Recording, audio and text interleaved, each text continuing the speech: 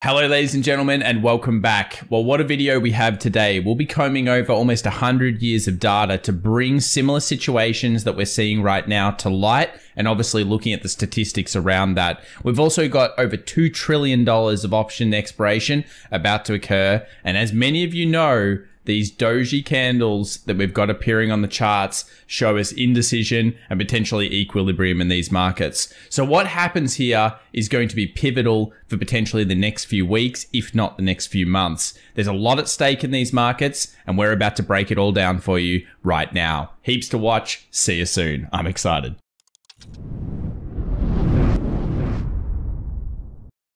All right, everybody. Well, welcome back to the show where we talk about markets around the world, including stocks, commodities, and cryptos. If you have any interest in either or any one of those, remember to subscribe and, of course, smash that like button. Let's talk about excessive pessimism versus optimism. Obviously, we want to understand the market dynamics. A lot of that has to do with the human psychology and the way that we are manipulated by the market to make certain generally poor decisions. I'm sure we've all been there. I'm looking at you right now and you're nodding your head saying, yeah, I, have stuffed it up before. Don't worry. We all have. The key is do we learn from it? So, of course, excessive optimism. Did we just see a peak on that? Well, of course, we're starting to get into a point where we saw it similarly in that March into April run. We're finding some kind of synergy between March and April and where we are in the markets right now. It's certainly an important chart. We also look at dumb money versus smart money as an important factor. Of course, dumb money has been getting more and more and more and more optimistic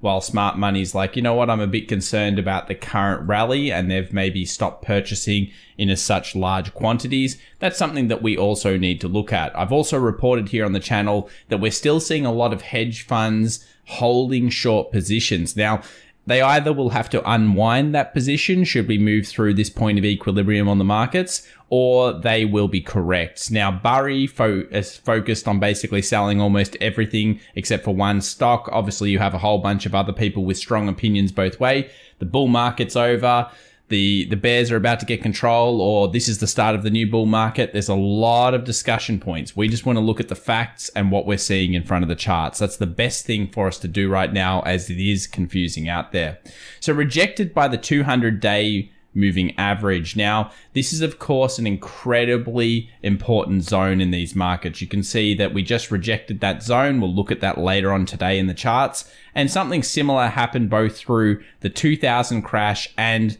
the 2008 into 2009 crash. We came back, we hit a level, and we rejected from that point. We'll look at the synergies later on. But what about if we go all the way back to the 1920s and 1930s and we pull the data from that perspective?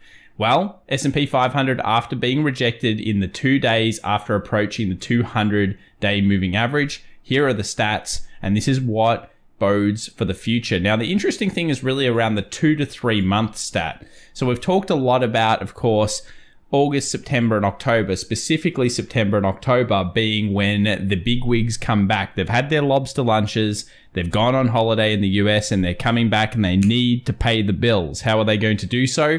Potentially it's time to sell the market, they say, and they smash down the those points in time, and we'll show the stats around that. But for really 200 years, September has been the worst month of the year in the stock market. It doesn't mean it's always going to be, but it's certainly something that you must pay attention to. Notice here, two months after we get this reading, which would push it push us into basically mid October, oftentimes less than a coin flip, the market's up. And when you know your stats around markets, I think it's 59% of the time each day, the stock market is generally bullish. So if you're coin flipping, technically it's a bullish market almost all the time. This is a stat towards the bear. So not really a great data point for bulls in this current market.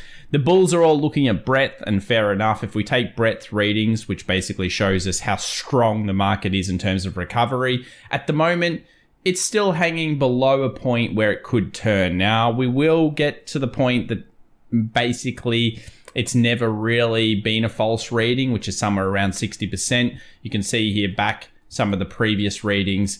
There are times where it's happened where the breadth has gone up and we've still crashed afterwards. It's incredibly rare. So at some point, even if you're feeling bearish on markets, you must admit defeat and then be able to switch. That's what really swing or position based traders will do. And we'll explain that in another video moving forward. But the breadth indicator, while very good and certainly shows some incredible bullish movements, at the same time hasn't quite hit that exact level where you'd say, okay, yeah, we've got to give in and say, okay, well, this, this is not a bear market rally anymore.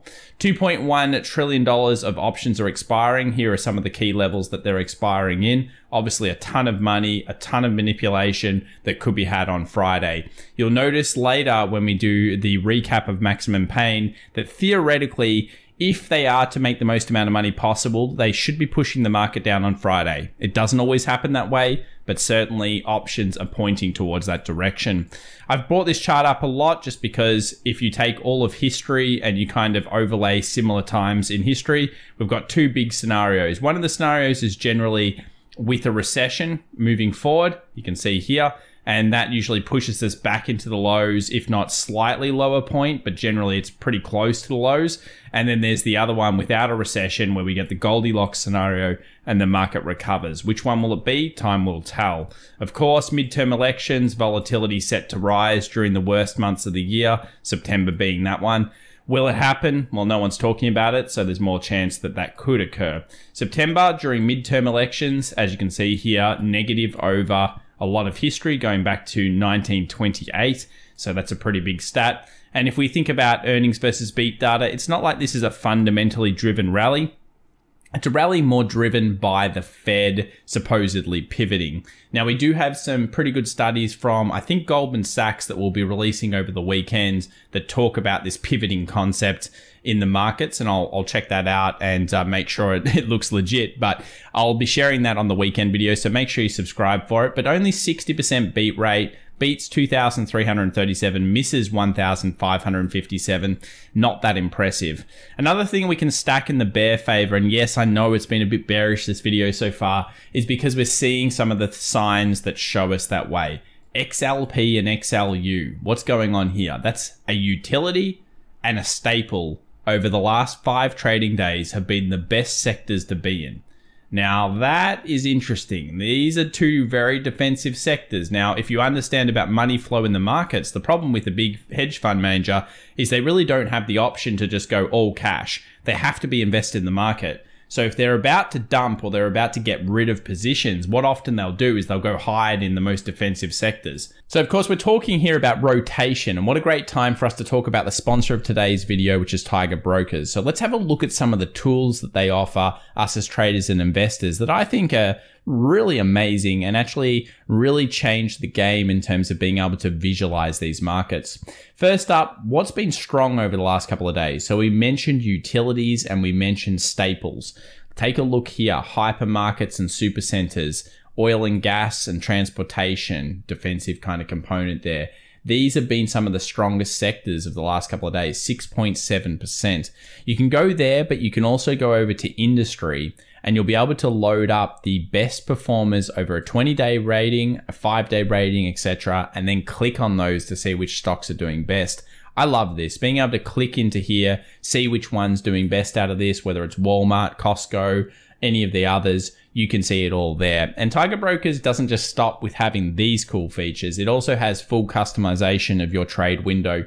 This is just an example. Of course, it's you'd set it up the way you feel like it, but you can put so much on these trade windows. The charts themselves, you already know they look damn good. And then you've got the options lines as well. You've got potentially the volume profile should you want to see your level data, and you've got your trade window, clock times for different areas in the world, different markets, news feeds. I mean, it's it's it's really customization to whatever you want. So if you're interested in some of the special offers that Tiger Brokers is offering the community today, you can check them out in the description down below.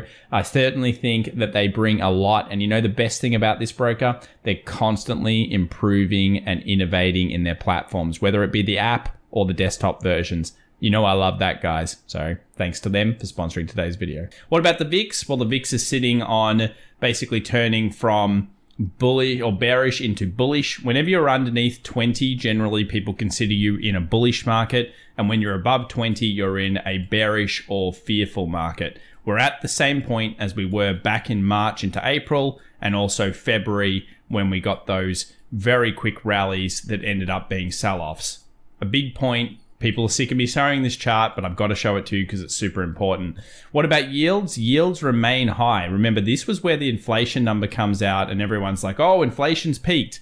Hey, possibly it has, but we still have what we call sticky inflation. So that is rents, all these other reasons to be potentially uh, a bit, bit bearish on the market over long term. It's not like we're going to cut rates anytime soon. We're still going to raise rates. The Fed's going to do so.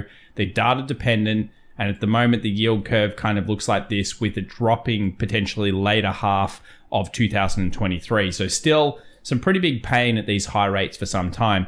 Notice the two years barely moved, an important point. Now let's get into the big one though, guys. Dollar index, the king, the US dollar, the major here. It is really bulling. I mean, wow. We've been talking about the bull case scenario now for the last couple of days um, well, actually a little bit longer than that. It's it's been very bullish. In fact, the last two sessions, look at this massive strength. Now you would think that that would mean the stock market would drop off. Usually it's cash going up, stocks going down. But we have a situation where we've got yields holding, cash going up, staples and utilities kind of going up and holding best, hitting a 200 you know, you can start to see why you could make a fairly bearish case around here. It really is somewhere around where the bears should get control of the market. Nothing's ever a guarantee, but it's an interesting stack of coincidences around this point. Dollar index has gone into what we would call the defended zone. It's actually taken the high out, which I've marked here for, wow, a long time now. 61.8 fib of the whole pullback, which is an interesting point. And if the US dollar is going to weaken, it should do so here. If it continues its strength, we may move all the way up into like a 108 or even a 108.50. We've got to be very careful in this area. The easy money was probably in here and down here when we've been talking about the dollar, but it could go ballistic. It could even make a new high. We don't know that yet. It's at a pivotal zone. Watch this on the smaller time frames. It'll be pretty important. That's also led on to the euro going through our defended zone here could the euro go under parity? It looks likely at this point based on what we're seeing with dollar strength. Notice it fell through this zone. Let's go and have a look at this on a two hour chart just to show everybody how big this area was. We basically had bull buys every single time. It's then taken this high, trapping positions in. And a lot of you are probably screaming at me saying, Tom, I think it's a, I think it's a distribution. It's a distribution. You could certainly be correct. This is what we would call a UT or a UTAD, effectively a false break to the upside. Now it's broken to the downside. Based on this distribution curve, you would think underneath a dollar is actually on the cards. And this is similar to what's happened on the dollar index. So if all things are being equal, there could be further weakness here in the currencies across the board and strength, of course, in the major. Could this mean the stock market's about to fall over or tip? Well, that's something we'll find out soon. Gold's come into the perfect area that we hoped it would. 1755. Fantastic. I'm going to give you guys a clap because well done to you. It's pretty nice. I'm pretty happy with it getting down to 1755. That's exactly where we wanted it to get to. Now we get to make some decisions. Okay, what what's the next move for gold? Do we find bullish pressure? So there's some little bull levels that are going to signal potentially the turn for gold to the upside. I'm still incredibly open down here to the 1720, 1715 zone. Uh, I still think that would make the most amount of sense. Obviously, a strong US dollar, weakness in gold temporarily down to this zone, allowing the money flow to pick the position up. We'll find out whether it does so, but we've already suspected it coming down to this zone. This is the first start, the second would be here. Should the gold market turn, though, we need to be ready for it. So, what's going to happen next? Well, we need to look at our key pivotal zones. We have something around 1773. That's going to be a fairly important breakout. Should we get that, we may expect a pullback and then a rally through. We've also got a small little pullback down here. Price range top about 1761. Break above that could signal some strength of what we know has been a defended area so far in the markets through this bullish run. Gold's been pretty damn good recently, so I'm very happy with that. It's the uh, 5% time that you usually look at gold. Most of the time, I'm telling you, gold is a horror show, but sometimes it's very good. US oil also looking quite strong. Little close above that zone we mentioned yesterday, 90 70 here. So we've had strong oil We broke through the zone. I'd probably expect a little bit of weakness here on oil, potentially around that 88. Maybe buyers come back in now and push towards the 95. Of course, a break past 95 will solidify at least a short term bottom in oil. I'm not really going to change my opinion over the next six to 12 months, which is oil lower. But this is trading, and we've just seen a nice breakout. So, probably weakness into strength would be the way that we would uh, see this chart at this stage. Nice pickup there, and it's similar in line with what we saw with copper. Little breakout, obviously new low. We'll find out whether this thing can do a turn. You'd be looking for turns on these types of charts. Of course, you guys need to practice your own uh, risk management there. Let's move over to Tesla. So if we add something like, let's call it a volume profile over this range, you'll notice that it's sitting right on the level that basically it's been sitting on for a while. Throughout this whole bit of the range, this has been the most important zone into one of the most important options expiries. So super critical area here. It's really exactly where you would expect the market to find some type of, I guess you would say, you know, selling or buying pressure. Obviously, if it does break out to the upside, uh, there could be a real ballistic move here. At the same time, you'd expect the S&P 500 to move above the 200 um, simple moving average or something like that, and that to really ramp these markets across the board. If it's going to weaken though, back down to 840, and if it gets underneath 840, then we're going to just 775. I'm leaning into the bear side here, moving into this Friday, but you'll see the reasons as we go through the video. Now, as you might have seen on the meme, uh, Apple has been one of the, the, best stocks of the last couple of months. This thing's on a rip roar. It's almost at all time highs. I mean, it's just absolutely unstoppable. Little dojis formed here the last couple of sessions.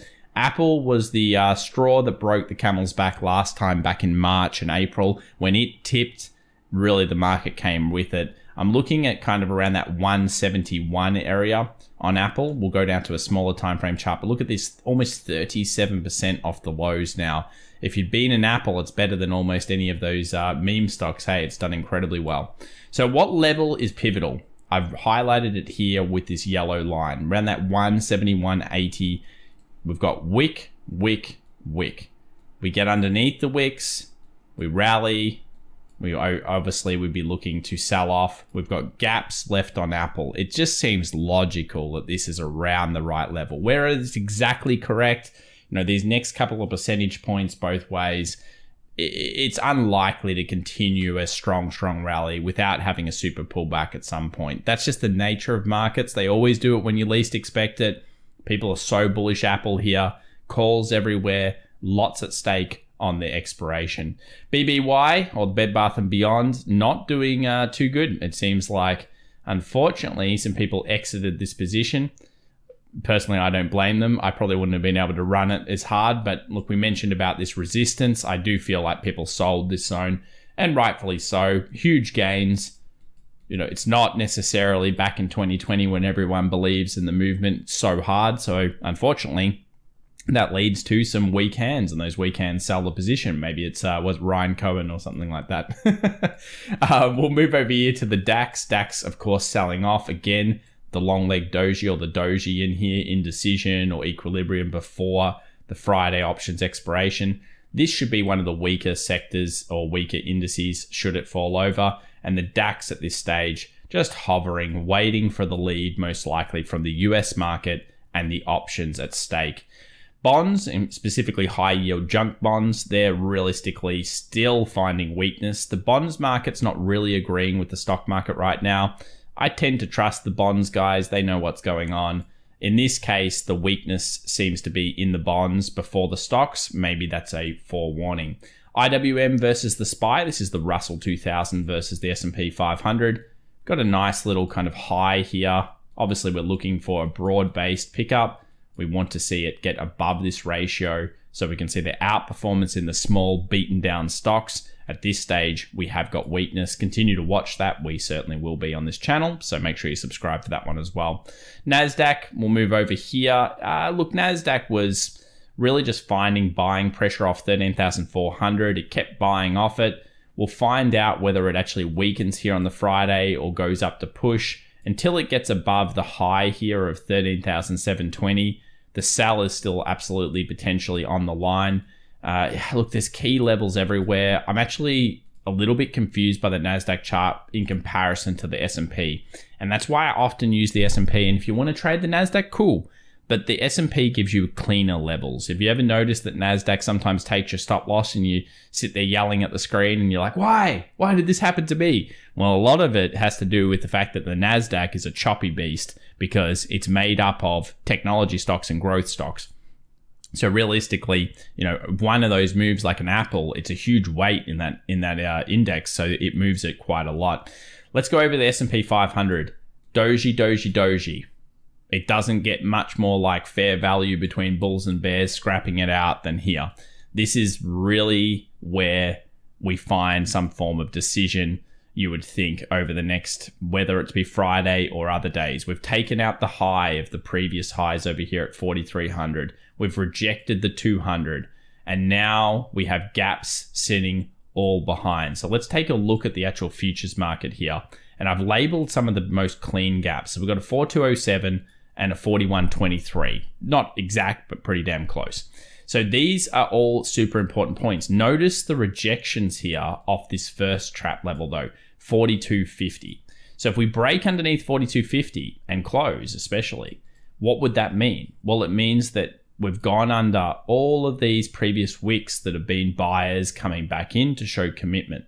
If that gets taken, then we move towards hopefully filling the gap 4207. If we go through that level, where's the next logical zone? 4123 so we'll leave it at there in terms of what those projections are. Obviously for bulls you just want a new high. 43 let me get the right zone. 4327ish i think. 25 was the high. You wanted above there. Let's now have a look at the one hour time frame just to get a bit of an understanding of the markets. So they've got a couple of levels that they'll try to defend you would think the bears. They'll defend the high they'll defend 4301 and they'll probably try to defend around 43.11. This is a, a, scrap of the ages at this point, and you might go back down to remember this time in the market potentially in the future. It's just that important. So we've got 42.50 on the bear side. Obviously, after that level, you'd think they're going to get some kind, kind of control and push it towards the next zone. And you've got a lot of fighting in between here, which could go all over the place until we actually get under. Now let's take a look at the options expiration for the Friday. Now it's not fully updated, so I'd recommend you go and have a look at maximum pain into the open. My, my guess is it's probably going to show around 415. And what that means is that if all of the options that are currently outstanding, remember Wall Street writes most of these options, so it's in their best interest to do this, were to expire worthless, they would push it towards 415 or at this stage 411 from what you've got in the data. That doesn't mean it has to happen. And certainly I wouldn't uh, program in to say, oh, 415 is absolutely going to happen on Friday. That's not how it works usually. But certainly it would make more sense to push the market down here to basically trap positions and especially make sure that they get the maximum profit from these markets. So whether that's a 420 or whether that's a 415 or even a 410, I don't know yet. It's just an idea. If you're seeing the price action break and it's in line with the max pain, it's another factor that you can bring into your trading and investment journey. What about Bitcoin? Well, Bitcoin looks horrible. I mean, I haven't loved it for a while now. If Bitcoin's a precursor to the market, it looks disgusting and it's coming into, of course, a big level of demand. If it busts this zone, we've already discussed it here. A few of you, being smart people that you are out there, have said, okay, well, what do you think about this as maybe a distribution? Here's like a UT, a UTAD, Again, distribution of price moving towards weakness.